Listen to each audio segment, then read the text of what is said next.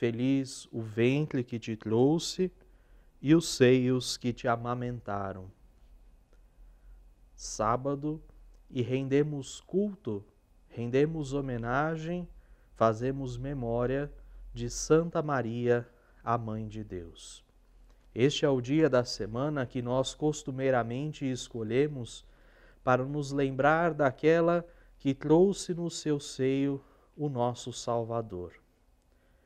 Para nos recordarmos daquela que é feliz, porque acreditando na palavra de Deus, aceitou que Deus nascesse e crescesse dentro de si.